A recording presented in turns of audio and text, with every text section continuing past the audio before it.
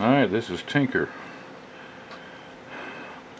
Been playing around over at OU with these magnet batteries or whatever it is we're going to call them or whatever somebody's going to call them.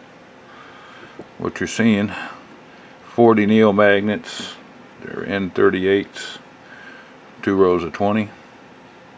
They're set in an aluminum rail, half inch, about an eight inch or eight one eighth inch ch channel aluminum, the hard stuff, not the soft stuff. Had that for another project. The dielectric is nothing more than a post-it note folded around the magnets and shoved down in the rail. You see the two meters. One on the left is looking at DC voltage. The one on the right is looking at AC voltage. Like everybody's been saying, that not everything is created equal, and every time you do this, it comes out a little bit different. Plus, there's my Swiss Army watch sitting there, so you can see what. This, I hope you can see the sweep and see how long it takes for this thing to charge up. At least on the DC side, gets up to one amp and then starts over again. The one on the AC side, it goes up to 100 and something. I've had it up to like 130. It depends on how good a contact I have with these leads. Anyway, just keeps on rolling, both of them.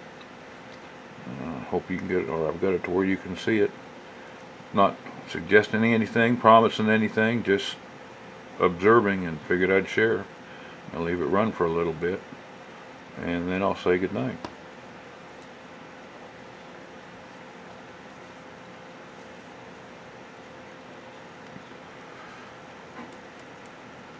Here close to the end I'll show you the whole thing without mucking it up, but you can see most of it. You're missing, only thing you're missing is where the leads are tying in. One's at the bottom of the aluminum rail, and the other ones are tied in at the top. And there's a little, another little magnet or neo sitting on top of there holding on the balls. Oh, I forgot the balls. Those are out of the, whip, is it whip mag sets? You know, the little ones with plastic and then magnets in both ends that Klasner was messing with and that's kind of holding it all together. The spacing is one of the half inch neos between the balls and then they could just go back into a I got a little piece of hot glue that I cut off to keep them from clacking together down inside the aluminum rail. It's keeping them fairly stable.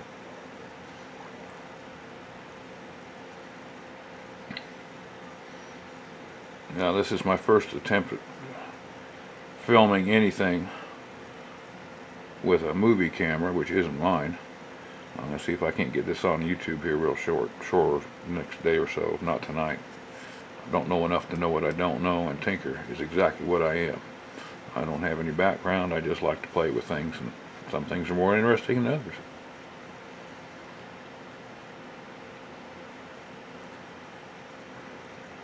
Alright, I'm going to give you the wide view, and then say goodnight.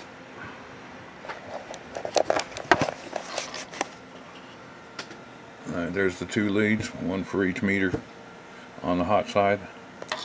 And there's the other side, and you pretty much see the green post-it note in there inside the railings. I don't know, maybe this is better. And the two leads going in from there. You can you probably can't see the meters now. Let's see. If I get it, there we go. That's the the uh, AC reading on the right and there's the DC reading on the left and there's nothing else to it except for the bottom of my keyboard I flipped up out of the way. Have a nice night. Talk to you later.